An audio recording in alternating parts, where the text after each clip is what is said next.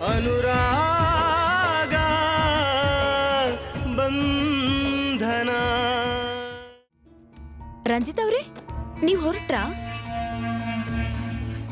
ಇವತ್ತೆಲ್ರೂ ಹೊರಗಡೆ ಹೋಗೋದ್ರಲ್ಲೇ ಇದ್ದಾರೆ. ಬೆಳಿಗ್ಗೆ ಅಮ್ಮ ಕೂಡ ಹೊರಗಡೆ ಹೋದ್ರು. ಹ್ಮ್. ಸರಿ ನಾನು ಹೊರಡ್ತಾ ಇದ್ದೀನಿ. ಗುಡ್ ಡೇ ರಂಜಿತ್ ಅವ್ರೆ ಆಸ್ ಎ ರೆಸ್ಪಾನ್ಸಿಬಲ್ ಸನ್ ಆಗಿ ಅಮ್ಮ ಎಲ್ಲಿ ಹೋಗಿದ್ದಾರೆ ಅಂತ ನೀವು ಕೇಳೋದಿಲ್ವಾ? ನೀವು ಕೇಳದೆ ಹೋದ್ರೂ ಹೇಳ್ತೀರಾ ಅಲ್ವಾ ಸರಿಯಾಗಿ ಹೇಳಿದ್ರಿ. ನಾನು ಈ ಮನೆ ಹಿರಿ ಸೊಸೆ ಅಲ್ವಾ? ಯಾರು ಎಲ್ಲಿಗ್ ಹೋಗ್ತಾರೆ ಯಾಕೆ ಹೋಗ್ತಾರೆ ಯಾರ್ ಜೊತೆ ಹೋಗ್ತಾರೆ ಅಂತ ನಾನ್ ಹೇಳಿ ಹೇಳ್ತೀನಿ. ಅದಕ್ಕೆ ನೀವು ಹೀಗೆ ಸುತ್ತಿ ಬಳಸಿ ಮಾತಾಡಿದ್ರೆ ನನ್ಗೆ ಅರ್ಥ ಆಗೋದಿಲ್ಲ. ಏನೇ ಇದ್ರೂ ಅದನ್ನ ನೇರವಾಗಿ ಹೇಳಿದ್ರೆ ಚೆನ್ನಾಗಿರ್ತಿತ್ತು. ನಾನು ಆಲ್ರೆಡಿ ಪ್ರೆಷರ್ನಲ್ಲಿದ್ದೀನಿ ಕೂಲ್ ಡೌನ್ ರಂಜಿತ್ ಅವರೇ ಕೂಲ್ ಡೌನ್ ಹೇಳ್ತೀನಿ. ಹೌದು. ನಿಮ್ಮ ಪ್ರೀತಿಯ ಹೆಂಡತಿ ಸಂಜು ಎಲ್ಲೂ ಕಾಣಿಸ್ತಿಲ್ಲ? ಅಂದ್ರೆ ಅಮ್ಮ ಸಂಜುನ್ ಕರ್ಕೊಂಡು ಹೊರಗಡೆ ಹೋಗಿದ್ದಾರೆ. ಅಯ್ಯೋ! ನಿಮಗ್ ಗೊತ್ತೇ ಇರ್ಲಿಲ್ವಾ? ಅಯ್ಯೋ ರಾಮ! ನಿಮ್ ಹೆಂಡತಿ ಎಲ್ಲ ಹೋಗಿದ್ದಾಳೆ ಅಂತ ನಿಮಗ್ ಗೊತ್ತೇ ಇಲ್ವಾ? ಇದ್ ಸ್ವಲ್ಪ ಅತಿ ಆಯ್ತು. ಅಲ್ಲ ಸಂಜೀವಿನಿ ಅವ್ರಿಗೆ ನಿಮ್ ಹತ್ರ ಹೇಳ್ಬೇಕು ಅನ್ನೋದು ಗೊತ್ತಾಗಲ್ವಾ? ನಿಮ್ಮಂತ ಸತ್ಯ ಹರಿಶ್ಚಂದ್ರನ ಹೆಂಡತಿನೇ ಹೀಗ್ ಮಾಡ್ತಿದ್ರೆ ಏನ್ ಮಾಡೋದು ಹೇಳಿ?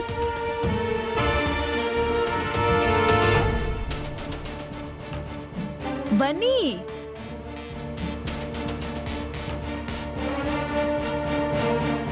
ತಾರಾಮತಿ ಅವರೇ, ಬನ್ನಿ. ಅಮ್ಮ ಎಲ್ಲಿ? ಬರ್ತಿದ್ದಾರೆ ಅವರು ಹಿಂದೆ ಇದ್ದಾರೆ. ಹೌದು. ಶಾಂತಿ ಪೂಜೆನ ಶಾಂತವಾಗಿ ಮಾಡಿದ್ದಾಯ್ತಾ? ಹ್ಮ್? ಅಯ್ಯೋ ದೇವ್ರೆ. ಇದ್ರ ಬಗ್ಗೆ ಇವರು ಗೊತ್ತೇ ಇರ್ಲಿಲ್ವಲ್ಲ? ಏನಪ್ಪ ಇಂಥ ಕೆಲಸ ಮಾಡ್ಬಿಟ್ಟೆ? ಅಲ್ಲ ಸಂಜೀವಿನಿ, ನೀನ್ ಎಲ್ಲ ಹೋಗ್ತೀಯ ಅಂತ ರಂಜಿತ್ ಅವ್ರಿಗೆ ಹೇಳ್ಬಿಟ್ಟು ಹೋಗ್ಬೇಕು ಅಂತ ಗೊತ್ತಾಗಲ್ವಾ? ಇಲ್ ನೋಡಿ ರಂಜಿತ್ ಅವ್ರೆ, ಆಗಿದ್ದು ಹೇಗೋ ಆಗೋಯ್ತು ಬಿಡಿ, ಹ? ನೀವು ಸಂಜೀವಿನೆಲ್ಲ ಕ್ಷಮಿಸ್ಬಿಡಿ. ನೀವು ಕ್ಷಮಿಸ್ಲೇಬೇಕು. ನೀವು ಭಯ ಹೋಗಿದ್ರೆ ನನಗೆ ಬೈದ್ಬಿಡಿ ಮನೆಯಿಂದ ಕಳ್ಸ ಹೋಗಿದ್ರೆ ಕಳಿಸ್ಬಿಡಿ. ಆದ್ರೆ ಅವಳಿಗೇನು ಹೇಳ್ಬೇಡಿ ಕ್ಷಮಿಸ್ಬಿಡಿ. ಅಯ್ಯೋ ಇಲ್ಲ. ಬೇರೆ ಏನು ಮಾತಾಡ್ಬೇಡ ಸಂಜು. ನೀನು ಮತ್ತೆ ಅಮ್ಮ ಸೇರಿ ದೇವಸ್ಥಾನಕ್ಕೆ ಶಾಂತಿ ಮಾಡ್ಸಕ್ ಹೋಗಿದ್ರಾ? ಅಲ್ಲ ರೀ ಅದು ನೀನೇನು ಮಾತಾಡ್ಬೇಡ. ನೀನು ಕೇಳಿದ ಪ್ರಶ್ನೆಗೆ ಮಾತ್ರ ಉತ್ತರ ಕೊಡು. ನನಗಿಂತದ್ರ ಮೇಲೆಲ್ಲ ನಂಬಿಕೆ ಇಲ್ಲ ಅಂತ ನಾನು ನಿನ್ಗೆ ಮೊದಲೇ ಹೇಳಿದ್ದೆ ಅಲ್ವಾ? ಆದ್ರೂ ನೀನು ಶಾಂತಿ ಮಾಡ್ಸಕ್ ಹೋಗಿದ್ದ? ಅದು ನನ್ಗೆ ಒಂದ್ ಮಾತು ಕೂಡ ತಿಳಿಸ್ದೆ. ಈಗಿಂದ ಈಗಲೇ ಗಂಟು ಮುಟ್ಟೆ ಕಟ್ಕೊಂಡು ನಿಮ್ಮ ಮನೆಗೆ ಹೋಗ್ತಾ ಇರು. ರೀ. ನನ್ನ ಹೆಂಡತಿಯಾಗಿ ನನ್ನ ಹತ್ರ ಸುಳ್ಳು ಹೇಳೋ ಹೆಂಗ್ಸತ್ರ ನಾನು ಸಂಸಾರ ಮಾಡೋದೇ ಇಲ್ಲ.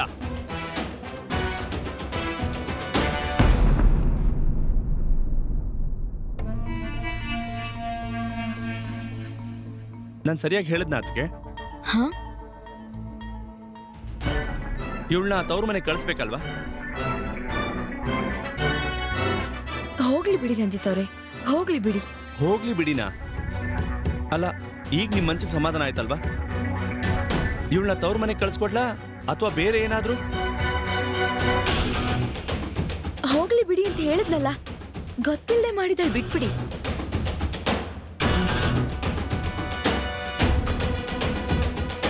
ಹಾಗೆ ಬಿಡಕ್ಕೆಲ್ಲ ಆಗಲ್ಲ. ಯಾಕಂತ ಹೇಳಿದ್ರೆ ಅದಕ್ಕೆ ಒಂದು ಚಿಕ್ಕ ಟೆಕ್ನಿಕಲ್ ಪ್ರಾಬ್ಲಮ್ ಇದೆ. ನಾನು ಇವಳನ್ನ ಅವ್ರ ಮನೆಗೆ ಕಳಿಸ್ತಿದ್ದೆ. ಅದು ಇವಳು ನನ್ನ ಹತ್ರ ಸುಳ್ಳು ಹೇಳಿದ್ದಿದ್ರೆ ಮಾತ್ರ. ಆದ್ರೆ ಅಂಥದ್ದೇನೂ ಆಗಿಲ್ವಲ್ಲ?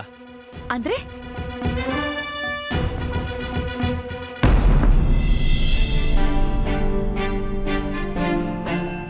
ಥ್ಯಾಂಕ್ ಯು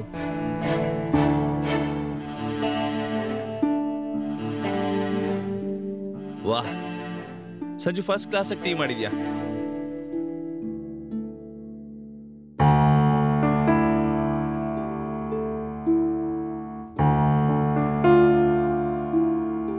ಸಂಜು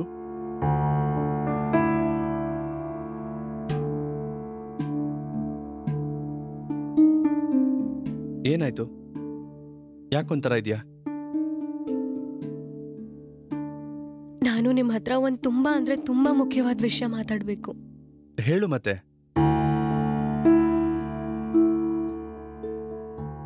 ಅದು ಏನಂದ್ರೆ ನಾನ್ ನಿಮಗೆ ಇವಾಗ ಏನ್ ಹೇಳ್ಬೇಕು ಅಂತಿದ್ದೀನೋ ಅದನ್ನ ಹೇಳೋದಕ್ ನಾನು ತುಂಬಾ ಧೈರ್ಯ ಮಾಡಿದ್ದೀನಿ. ಎಷ್ಟೇ ಬೇಜಾರಾದ್ರೂ ಏನೇ ಆದ್ರೂ ನೀವ್ ನನ್ ಮೇಲೆ ಕೋಪ ಮಾಡ್ಕೋಬಾರ್ದು. ಸಂಜು ಮತ್ತೆ ಏನಾದ್ರೂ ಆಯ್ತಾ? ಏನಾದ್ರೂ ಪ್ರಾಬ್ಲಮ್ ಆಯ್ತಾ ಹೇಳು. ಇಲ್ಲ ಅಂದ್ರೆ ನಾನ್ ಏನ್ ಹೇಳ್ಬೇಕು ಅಂತಿದ್ದೆ ಅಂದ್ರೆ ಹ್ಮ್? ನಾನು ನಾಳೆ ಬೆಳಗ್ಗೆ ಅತ್ತೆಯವ್ರ ಜೊತೆಗೆ ದೇವಸ್ಥಾನಕ್ಕೆ ಹೋಗಿ ಬರ್ಲಾ ಶಾಂತಿ ಮಾಡ್ಸೋದಕ್ಕೆ. ಸಂಜು ನೀನು? ರೀ ನಿಮ್ಗೂ ಗೊತ್ತು ಮಾಧವಣ್ಣಂದು ಆಕ್ಸಿಡೆಂಟ್ ಆಗಿದೆ ಅಂತ. ಆದ್ರೆ ನನಗೇನ್ ಅನ್ಸುತ್ತಂದ್ರೆ ಅದ್ ನನ್ನಿಂದಾನೇ ಆಯ್ತು ಅಂತ. Sanju are you mad or what? ಹಾ? ಸಂಜು, ನೀನ್ ಹುಟ್ಟಿರೋದು ಅಮಾವಾಸ್ಯ ದಿನ, ಅದಕ್ಕೆ ಮಾಧವನ್ಗೆ ಆಕ್ಸಿಡೆಂಟ್ ಆಯ್ತು ಅಂತ ಹೇಳ್ತಾ ಇದೀಯ ಅಲ್ವಾ? ಅದಕ್ಕೂ ಇದಕ್ಕೂ ಏನ್ ಸಂಬಂಧ?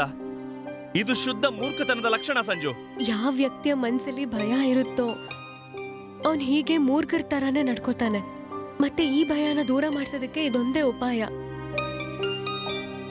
ಇದೆಲ್ಲ ನನ್ ಮನ್ಸಿನ ಶಾಂತಿಗೋಸ್ಕರ. ಪ್ಲೀಸ್.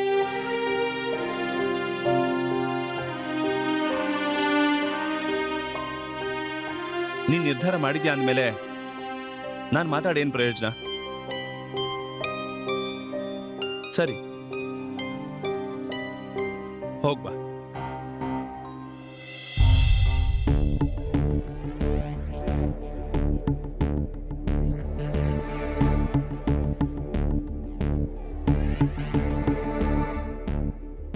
ನೀನ್ ಸತ್ಯ ಏನು ಅನ್ನೋದನ್ನ ಹೇಳ್ಬಿಟ್ಟಿದ್ಯಾ ಇವ್ರಿಗೆ? ರಂಜಿತ್ ಅವರೇ ನಿಮ್ ಸ್ವಭಾವನೇ ನನ್ಗೆ ಅರ್ಥ ಆಗಲ್ಲ ನೋಡಿ.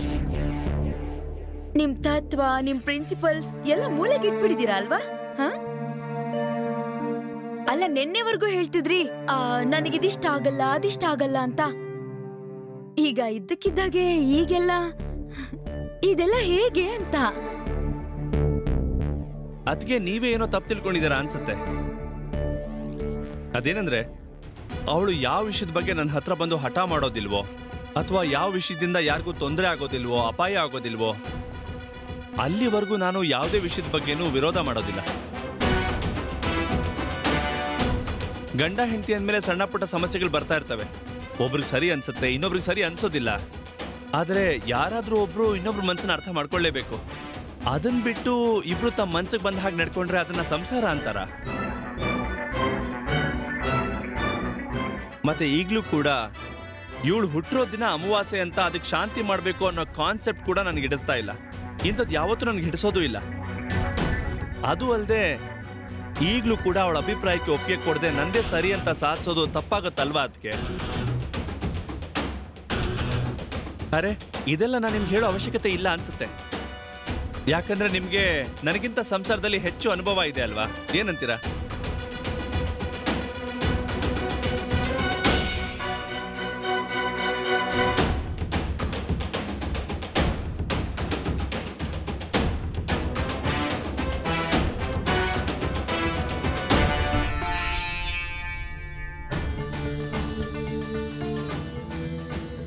ಏನಾಯ್ತು? ಆಯ್ತಾ? ಎಲ್ಲ ನೀವು ಅಂದ್ಕೊಂಡ ಹಾಗೆ ಆಯ್ತಾ? ನೀವು ಶಾಂತಿ ಮಾಡಿಸಿದ್ದಾಯ್ತಾ? ಅಯ್ಯೋ ತುಂಬಾ ಬೇಗ ಮುಗೀತು ಅನ್ಸುತ್ತೆ. ಅಲ್ಲ ಎಲ್ಲ ಚಿಕ್ಕ ಚಿಕ್ಕ ಪೂಜೆಗಳೇ ಇದ್ವಲ್ಲ ಅದಕ್ಕೆ ಬೇಗ ಮುಗೀತು ಶಾಂತಿ. ಹೇಗೂ ರಂಜಿತ್ ಇಲ್ಲೇ ಇದ್ದಾನಲ್ಲ ಅವನಿಗೂ ಕೂಡ ಪ್ರಸಾದ ಕೊಡು.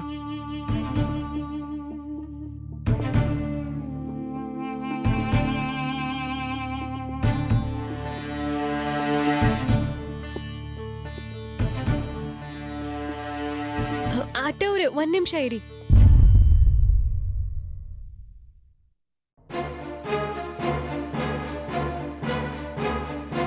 ನೀನ್ ನನ್ನನ್ನು ತಡದ್ಯಾ? ಅಲ್ಲ ಅದು ಹದಿನೈದು ನಿಮಿಷದ ಈ ಚಿಕ್ಕ ಪೂಜೆಗೋಸ್ಕರ ನೀವ್ ತಾಯಿ ಮಗನ್ ಮಧ್ಯೆ ಇಷ್ಟೊಂದ್ ಜಗಳ ಆಯ್ತು. ಅದು ತಪ್ಪಲ್ವಾ? ಅಲ್ಲ ಅದು ನಾನ್ ಏನ್ ಹೇಳ್ತೀನಂದ್ರೆ ನೀವ್ ಯಾಕೆ ಇಷ್ಟು ಚಿಕ್ಕ ವಿಷಯ ದೊಡ್ಡದಾಗ್ ಮಾಡ್ತಿದ್ದೀರಾ? ಸಾರಿ ಅಂತ ಹೇಳಿ ಅತ್ತೆ ಅವರಿಗೆ. ಬೇಡ ಅದನ್ನೆಲ್ಲ ಹೇಳೋ ಅವಶ್ಯಕತೆ ಏನೂ ಇಲ್ಲ. ಅಲ್ಲ ಅಂದ್ರೆ ಸಾರಿ ಅತ್ತೆ ಅವ್ರೆ ನನಗದ್ರ ಅವಶ್ಯಕತೆ ಇದೆ. ತಮ್ಮ ತಾಯಿ ಮೇಲೆ ಕೂಗಾಡಿದ್ಮೇಲೆ ಇವ್ರ ಮನ್ಸಿಗೆ ಎಷ್ಟು ನೋವಾಗಿದೆ ಅನ್ನೋದು ನಾನು ನೆನ್ನೆಯಿಂದ ನೋಡ್ತಾನೆ ಇದ್ದೀನಿ. ನಾನು ಲೈವ್ ಆಗಿ ನೋಡ್ತಿದ್ದೀನಿ ಅದನ್ನ. ಅದಕ್ಕೆ ನಾನು ಹೇಳಿದ್ದು ಸಾರಿ ಹೇಳಿ ಅತ್ತೆ ಅವರಿಗೆ ಅಂತ. ಹಾಗೆಲ್ಲ ಹೇಳೋ ಅವಶ್ಯಕತೆ ಇಲ್ಲ ರಂಜಿತ್. ಇಲ್ಲ ಅಮ್ಮ. ನನ್ನಿಂದ ನಿಜವಾಗ್ಲೂ ತಪ್ಪಾಗಿದೆ. ನಾನ್ ನಿಮ್ ಹತ್ರ ಹಾಗೆಲ್ಲ ಮಾತಾಡಬಾರ್ದಿತ್ತು.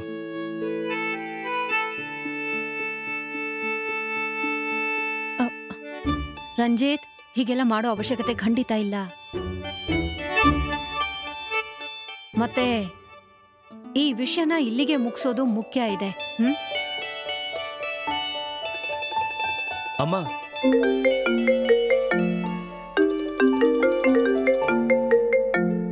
ಎಕ್ಸ್ಕ್ಯೂಸ್ ಮೀ ಹಲೋ ಹಾ, ಹೇಳಿ ಡಾಕ್ಟರ್. ಸರಿ ಸರಿ ಸರಿ. ಎಸ್ ಎಸ್ ನಾನು ಬರ್ತೀನಿ. ಅಮ್ಮ. ಮಾಧವನಿಗೆ ಇಂಟರ್ನಲ್ ಬ್ಲೀಡಿಂಗ್ ಸಂಪೂರ್ಣವಾಗಿ ನಿಂತಿದೆ ಅಂತೆ. ಈಸ್ ಔಟ್ ಆಫ್ ಡೇಂಜರ್ ನಾವು ಈಗ ನಾವು ಯೋಚನೆ ಮಾಡೋ ಯಾವ ಅವಶ್ಯಕತೆನೂ ಇಲ್ಲ. ನಿಜವಾಗ್ಲೂ ಆ ದೇವ್ರು ಅವನನ್ನ ಕಾಪಾಡ್ಬಿಟ್ಟ. ನೋಡಿದ್ಯಲ್ಲ ರಂಜಿತ್? ಇಲ್ಲಿ ನಾವು ಶಾಂತಿ ಮಾಡಿಸ್ಕೊಂಡ್ ಬಂದ್ವಿ. ಅಲ್ಲಿ ಪೂರ್ತಿ ಸರಿ ಹೋದ ಅಂತ ಸುದ್ದಿ ಬಂತು. ಅಮ್ಮ ಅದು ಹಾಗೇನೂ ಇಲ್ಲ. ಇದು ಬರೀ ಕೋಇನ್ಸಿಡೆನ್ಸ್ ಅಷ್ಟೇ. ಒಂದ್ ವೇಳೆ ಡಾಕ್ಟರ್ ಪ್ರಯತ್ನ ಮಾಡದೇ ಇದ್ದಿದ್ರೆ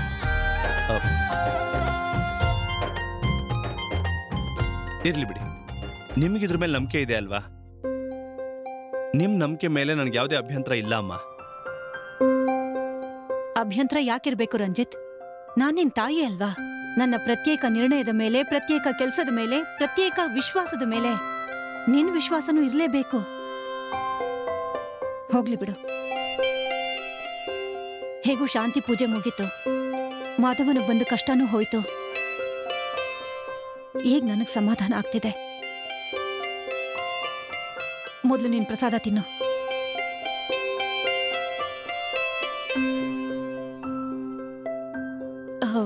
ಆದ್ರೆ ಅತ್ತೆ ಅವ್ರೆ ಈ ಎಲ್ಲದ್ರ ಕ್ರೆಡಿಟ್ ಯಾರಿಗೆ ಹೋಗ್ಬೇಕು ಗೊತ್ತಾ? ರಾಜಶ್ರೀ ಅಕ್ಕಾಗೆ. ಓ ಇಲ್ಲ ಇಲ್ಲ. ನನ್ನ ಯಾಕೆ ಮದ್ದಿಗೆ ತಗೊಳ್ತೀರಾ? ಹ? ನನಗೂ ಇದಕ್ಕೇನ್ ಸಂಬಂಧ ಇದೆ? ಇಲ್ಲ ಇಲ್ಲ. ಹಾಗಂದ್ರೆ ಹೇಗೆ? ನಮ್ ಮದ್ವೆಗೂ ಮುಂಚೆ ನನ್ ಜಾತಕನ ನೋಡಿಲ್ಲ ಅಂತ ನಿಮ್ ಗಮನಕ್ಕೆ ಬಂದಿದ್ದು ಅಲ್ವಾ? ನಿಮ್ ಗಮನಕ್ ಬರ್ದೇ ಹೋಗಿದ್ದಿದ್ರೆ ನನ್ ಜಾತಕದಲ್ಲಿ ದೋಷ ಇದೆ ಅಂತ ಗೊತ್ತಾಗ್ತಾನೆ ಇರ್ಲಿಲ್ಲ. ಅವಾಗಿದೆಲ್ಲ ಹೇಗ್ ನಡೆಯಕ್ ಸಾಧ್ಯ, ಅಲ್ವಾ? ತುಂಬಾ ತುಂಬಾ ಥ್ಯಾಂಕ್ ಯು ರಾಜಶ್ರೀ ಅಕ್ಕ.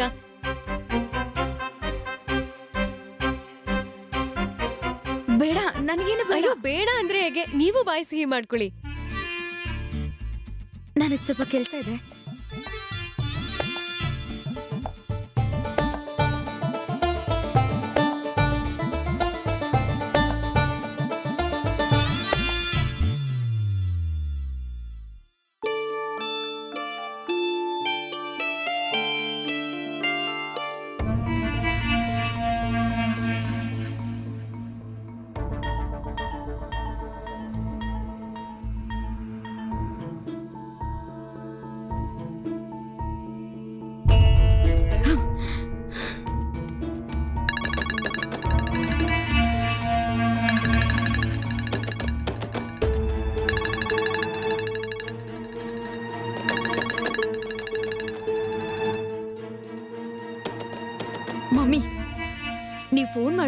ನನ್ ಮೂಡ್ ಹೇಗಿದೆ ಅಂತ ನೋಡ್ಕೊಂಡು ಫೋನ್ ಮಾಡಕ್ಕಾಗಲ್ವಾ?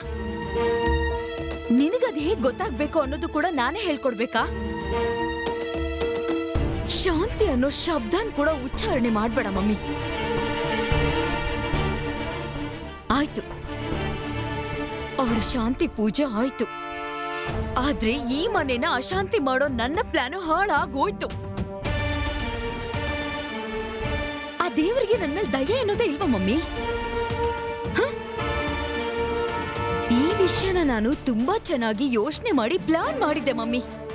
ಜೋರಾಗಿ ಗಾಳಿ ಬೀಸಿದ್ರೆ ಹೂಗಳೆಲ್ಲ ಹೇಗೆ ಉದ್ರೋಗುತ್ತೋ ಹಾಗೆ ನನ್ನ ಪರಿಸ್ಥಿತಿ ಕೂಡ ಆಗಿದೆ, ಮಮ್ಮಿ. ಅಲ್ಲ, ಮಮ್ಮಿ, ರಂಜಿತ್ ಅವ್ರಿಗೆ ಈ ಶಾಂತಿ ಪೂಜೆ ಬಗ್ಗೆ ಕೊನೆವರೆಗೂ ವಿರೋಧ ಇತ್ತು. ಆದ್ರೆ ಏನಾಯ್ತೋ ಯಾರಿಗ್ ಗೊತ್ತು? ಆ ಹುಡುಗಿಗೂ ರಂಜಿತ್ ಅವ್ರಿಗೂ ಜಗಳ ಮಾಡಿಸ್ಬೇಕು ಅನ್ನೋ ಪ್ಲಾನ್ ನಾನ್ ಮಾಡ್ಕೊಂಡಿದ್ದೆ. ಆದ್ರೆ ಎಲ್ಲಾನು ಹಾಳಾಗೋಯ್ತು.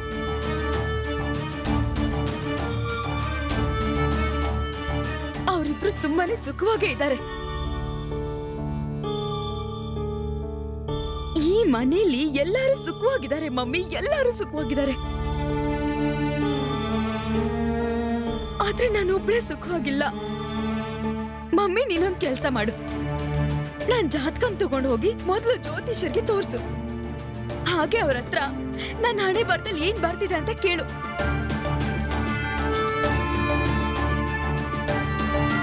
ಅಮ್ಮ, ನಾನು ಫೋನ್ ಇಡ್ತೀನಿ.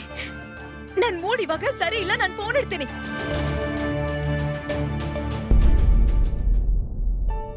ರೀ, ಹೋಗ್ಬೇಕಾದ್ರೆ ಈ ಊಟದ ಡಬ್ಬ ತಗೊಂಡ್ ಹೋಗಿ. ಇದೇನಿದು? ನಾನ್ ತಗೊಂಡ್ ಹೋಗ್ಬೇಕಾ? ಅಂದ್ರೆ ನಿನ್ ಮಧ್ಯಾಹ್ನ ಊಟ ತಗೊಂಡ್ ಬರೋದಿಲ್ಲ ಅಂತ ಆಯ್ತು. ಅಯ್ಯೋ ಯಾಕೆ ತರ ಮಾತಾಡ್ತಿದೀರ ಪೊಲೀಸಪ್ಪ? ನಾನ್ ತರ್ತೀನಿ. ಮತ್ತೆ ಇದು ಯಾರಿಗೋಸ್ಕರ? ರೀ ಅದು ಮಾಧವ ಅಣ್ಣನ್ ಹೆಂಡತಿಗೆ. ಅವ್ರ ಪಾಪ ಆಸ್ಪತ್ರೆಯಲ್ಲೇ ಇದಾರಲ್ವಾ? ಏನ್ ತಿಂದಿದಾರೋ ತಿಂದಿಲ್ವೋ ಆ ದೇವ್ರಿಗೆ ಗೊತ್ತು. ಸಂಜು ನೀ ಇದೆಲ್ಲ ಹೇಗ್ ನಿಭಾಯಿಸ್ತೀಯ? ಎಲ್ರ ಬಗ್ಗೆ ಯೋಚನೆ ಮಾಡ್ತೀಯ? ಎಲ್ರ ಬಗ್ಗೆ ಕಾಳಜಿ ತಗೋತೀಯಾ? ನನಗಿದೆಲ್ಲ ಗಮನಕ್ಕೆ ಬರಲ್ಲ. ಈಗ ಇದನ್ನೇ ನೋಡು. ಮಾಧವನ್ ಹೆಂಡತಿಗೋಸ್ಕರ ಊಟ ಕೊಟ್ಟಿದ್ಯಾ?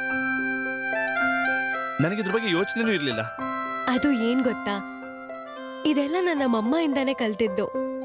ಅವಳು ನೋಡಿ ನೋಡಿನೇ ಎಲ್ಲ ಕಲ್ತಿದ್ದು. ಅವಳೇ ನನ್ನ ಗೈಡ್ ಅಲ್ಲಿ ಗೊತ್ತಾ? ಮತ್ತೆ ಡ್ಯಾಡಿ ನಮ್ಮ ಮಾವನಿಂದ ಏನ್ ಕಲ್ತೆ?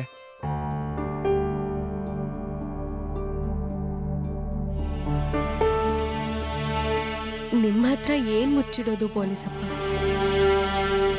ನಿಮ್ಗಂತೂ ಗೊತ್ತೇ ಇದೆ ಡ್ಯಾಡಿ ಹೇಗೆ ಅಂತ. ನಾನಂತೂ ಅವರಿಂದ ಏನೂ ಕಲ್ತಿಲ್ಲ. ಕಲಿದೇನೆ ಏನಾದ್ರೂ ಬಂದಿದ್ರೆ ಅದ್ರ ಬಗ್ಗೆ ಗೊತ್ತಿಲ್ಲ. ಅವರಂತೂ ಯಾವತ್ತೂ ನಮಗೇನು ಕಲ್ಸ್ಕೊಟ್ಟಿಲ್ಲ ಬಿಡಿ. ಅವ್ರಿಗೆ ಗಂಡ್ಮಗ ಬೇಕಾಗಿತ್ತಲ್ವಾ? ಆದ್ರೆ ಆಗಿದ್ದು ಒಂದಲ್ಲ ಎರಡಲ್ಲ ಮೂರ್ ಮೂರ್ ಹೆಣ್ಮಕ್ಳು. ಸಂಜು. ಹಾ? ಆದ್ರೆ ನಾನ್ ಹಾಗಲ್ಲ. ಇನ್ಫ್ಯಾಕ್ಟ್ ನನಗೆ ಒಂದು ಕನ್ಸಿದೆ. ನನಗೆ ಮೊದಲನೇ ಮಗು ಹೆಣ್ಣೆ ಆಗ್ಬೇಕು ಅಂತ. ಎರಡನೇದ್ ಹೆಣ್ಣಾದ್ರೂ ಪರವಾಗಿಲ್ಲ. ರೀ ಇವಾಗ ನೀವೇಗ್ ನಮ್ ವಿಷಯಕ್ಕೆ ಬಂದ್ರಿ? ಹೋಗಿ ಸುಮ್ನೆ. ಹೋಗಿ ಸುಮ್ನೆ ಅಂದ್ರೇನು? ಇದು ಮುಖ್ಯವಾದ ವಿಷಯ ಮಾತಾಡ್ಲೇಬೇಕು. ನಮ್ಗ್ ಹೆಣ್ಮಗುನೇ ಆಗ್ಬೇಕು. ಅದು ಈ ವರ್ಷದೊಳಗಾದ್ರೆ ಇನ್ನೂ ಒಳ್ಳೇದು. ಪೊಲೀಸಪ್ಪ ನಿಮ್ ಗಾಡಿ ಪೊಲೀಸ್ ಸ್ಟೇಷನ್ಗೆ ಹೋಗೋ ಬದಲು ಇಲ್ಲಿಗೆ ಯಾಕೆ ಬಂದ್ ನಿಂತಿದೆ? ಇಲ್ಲ ಇಲ್ಲ. ಮೊದಲು ಗಾಡಿ ಹೆಣ್ಮಗು ಹತ್ರ ನಂತರ ಪೊಲೀಸ್ ಸ್ಟೇಷನ್ಗೆ. ಅಲ್ಲ ಸಂಜು ಯೋಚನೆ ಮಾಡು. ಒಂದ್ ವೇಳೆ ಮುಂದಿನ ವರ್ಷ ನಮ್ಗೆ ಹೆಣ್ಮಗು ಆದ್ರೆ ನನಗೂ ಅವಳಿಗೂ ಇಪ್ಪತ್ತೆಂಟು ವರ್ಷ. ಮತ್ ನಿನಗೂ ಅವಳಿಗೂ ಹತ್ತೊಂಬತ್ತು ವರ್ಷದ ವ್ಯತ್ಯಾಸ ಇರುತ್ತೆ. ಆಗ ನಮ್ಮ ಮಗಳು ದೊಡ್ಡೋಳಾದ್ಮೇಲೆ ಹೇಳ್ತಾಳೆ my mother is my best friend ಅಂತ. ಸೊ ಟೇಕ್ ಯು ಟೈಮ್ ಮಧ್ಯಾಹ್ನದವರೆಗೂ ಯೋಚನೆ ಮಾಡಿ, ಒಂದ್ ವೇಳೆ ನಿನ್ಗೆ ಒಪ್ಪಿಗೆ ಇದ್ರೆ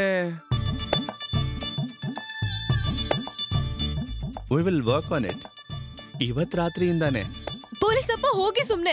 ನಿಮ್ಗೆ ಟೈಮ್ ಆಗ್ತಿಲ್ವಾ? ನೀವ್ ಬೇಗ ಹೋಗಿ ಇವಾಗ ಸುಮ್ನೆ.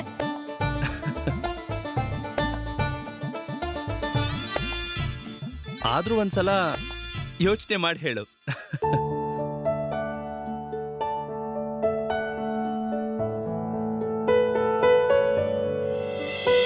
ಹದಿನೆಂಟು ಸೆಪ್ಟೆಂಬರ್ ಎರಡ್ ಸಾವಿರದ ಒಂದು.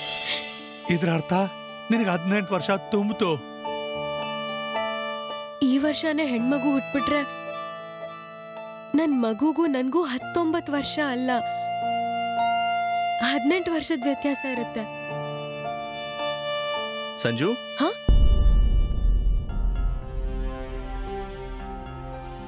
ಈ ಜಾತಕದ ಗಡಿ ಬಿಡಿಲಿ ಒಂದು ಮುಖ್ಯವಾದ ವಿಷಯ ಹೇಳೋದ್ನೇ ಮರ್ತಿದ್ದೆ. ಆ, ಯಾವ್ದು? ಅದೇ ನಾನು ನಿನಗೆ ಮ್ಯಾರೇಜ್ ಸರ್ಟಿಫಿಕೇಟ್ ಬಗ್ಗೆ ಹೇಳಿದ್ನಲ್ಲ. ಹಾ ನೀವ್ ನನ್ನ ಹತ್ರ ಹೇಳಿದ್ರಿ.